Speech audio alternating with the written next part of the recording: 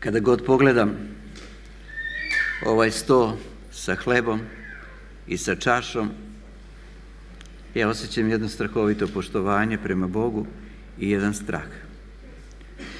Ali osjećam jednu neverovatnu radost što mogu obnoviti zavet sa Bogom. I ovaj danas trenutak kada ćemo mi ponovo obnoviti zavet sa Bogom. Želim podeliti sa vama jedan tekst koji je svima nama jako dobro poznat. Zapisan je u Evanđelju po Jovanu. Jovan je u stvari u svom 13. poglavlju i u celoj knjizi zapisao mnoge stvari koje su propuštene u ranim evanđeljima. Evanđelje po Jovanu je posljednja napisana knjiga negde 105. 106. godine. I kada on počinje 13. poglavlje kaže ovako. A pred praznik Paske, znajući Isus da mu dođe čas da pređe iz ovoga sveta k Otcu kako je ljubio svoje koji bijako na svetu, do kraja ih je ljubio, do kraja. Njegova ljubav nije polovična, ona ne ide samo do jednog određenog stepena i onda kaže stop, ili ako ti ja nismo onaki kakvi bi trebali biti, on kaže neću više da te volim. Voli me do kraja. Kada god razmišljam o tome, ja se setim jednog događaja koji me jako pokrenuo na razmišljanje. Reč je o jednome mladom čoveku, mladiću, koji je stradao u saobraćajnoj nesreći, bio je povređen, prebačen u bolnicu, ali je izgubio mnogo krvi. I onda su hitno objavili preko svih medija, tražili su dobrovoljce da, da spasu život ovome mladome čoveku. I dosta njih se javilo, međutim tragedija je bila što niko nije imao odgovarajući krvnu grupu. Bila je to vrlo redka krvna grupa. A onda se pojavlja jedan tamnoputi mladić i kaže u prijemnoj kancelariji kod sestre, ja imam istu krvnu grupu kao Josif. Ona ga pogleda, ali pita kako znaš? Pa kaže, nas dvojica smo najbolji prijatelji. Ona kaže, ali to nije dovoljno da imate istu krvnu grupu. O, ne, ne, ja sam siguran da imamo istu krvnu grupu. I onda je sestra uzela uzorak i bila je zaista zapanjena. Da, bila je to ista krvna grupa koju je imao Josif. I kada je sestra rekla u redu, možeš da mu daš krv, a tada je ovaj tamnoputi mladić rekao u redu, ali ja tražim 500 dolara. Sestra je onako šokirala se, šta? A mladić je ponovio, meni je potrebno 500 dolara. I ti si njegov najbolji prijatelj. I onda je bilo toliko uznemirena, toliko je bila ljuta, počela je da viča na njega. I doktor koji je bio tu u svojoj ordinaciji čuo je i onda je došao i pitao čemu je problem, čemu ga lama. I onda je sestra rekla šta se događa, a doktor je na to rekao, ako traži 500 dolara, daj mu 500 dolara, mi nemamo vremena za gubljenje. I tako je ovaj tamnoputi mladić otišao da da krv, a nakon kraćeg vremena kada se ponovo našao tu kod sestre i dok je sestra ispisivala ček na 500 dolara i pružila mu, a on kaže, meni to nije potrebno. A onda ona ponovo bila iznenađena. Ja tebe ništa ne razumem. Malo pre si rekao da ne želiš da daš krv ako ti nećemo dati 500 dolara. On kaže da, a sada ti dajem, a ti nećeš da uzmeš. Kaže ne. I ona onako šokirana. A on kaže, pa znate, vi me niste saslušali. Ja sam jako siromašan. I moje porodica je jako siromašna. I tih 500 dolara meni u stvari bilo potrebno za sahranu. Jer moji nemaju, nemaju novac za sahranu. A ja sam mislio da ja trebam dati svu krv za mog najboljeg prijatelja. Kada je to sestra čula, onda je bila zaista iznenađena. Znate, moj najbolji prijatelj, on je dao svu krv. On nije dao samo jednu ili one dve bočice maksimum, nego je dao svu krv da bi ja danas mogao da živim.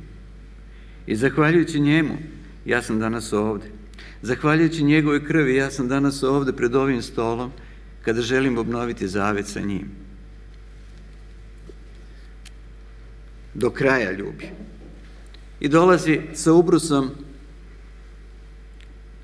do Petra A Petar u tom trenutku kaže ovako, Gospode, pa zar ti moje noge da opereš?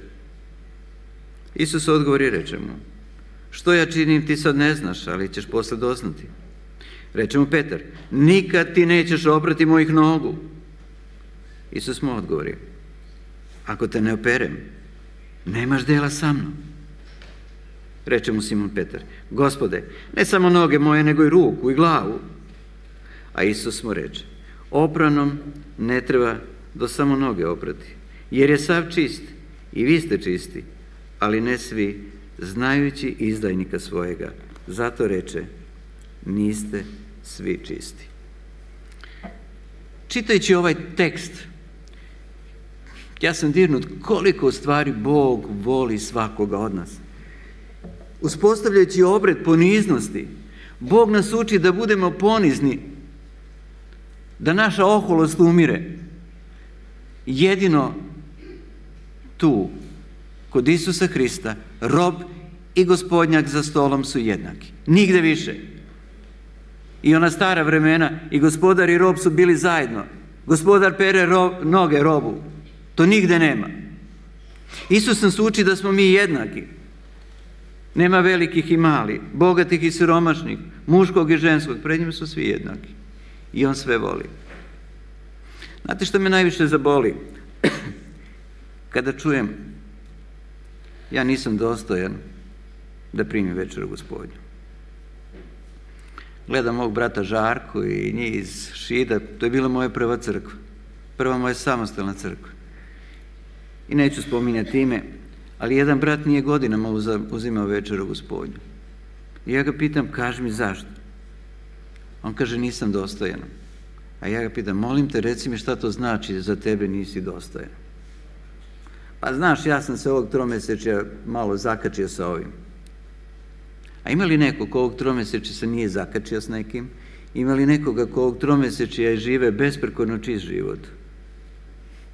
A volio bi ga videti. Volio bi ga i upoznati. Obred poniznosti služi da opere te naše male, sitne greške, da ne kažemo ovaj, što smo učinili. A znate ko nije dostojan? Samo onaj koji nije spreman oprostiti bratu svojemu. On nije dostojan. Ali ovo je uspostavljeno baš zbog nas što grešimo. Zato što smo samo ljudi. I koliko god se trudimo, mi pravimo greške. I hvala Bogu. Hvala Bogu što je uspostavio jedan ovakav obred koji nas uči poniznosti, koji nas uči da praštamo jedan drugome. I onda, kad nam Bog opere noge, onda kao čisti dolazimo pred ovim stolom. I dozvolite za kraj da pročitam što on kaže ovako. Kada dakle ja oprah vama noge, gospodi učitelju, i vi ste dužni jedan drugome prati noge. I vi ste dužni, to je imperativ, zapovest. Ako nisam spreman poniziti se i oprati noge, to znači da nemam šta da tražim za stolom. To znači da nisam, što bi rekao, spreman. Nisam dostojan. Možda samo još jedno pitanje. Da li uvek perete noge samo sa jednim istim ili jednom istom? Da li postoji neko koga izbegavate? Ako postoji, ja vas pozivam, priđite mu danas i tražite da zajedno perete noge. Neka nam Bog pomogne da u jednom poniznom duhu, čistoga srca, pođemo na ovaj obred, da nam Gospod opere sve što se nakupilo u toku ovog perioda, svu prljavštinu greha i da čisti stanemo pred ovim stolom i da obnovimo zavet sa Bogom. Amin.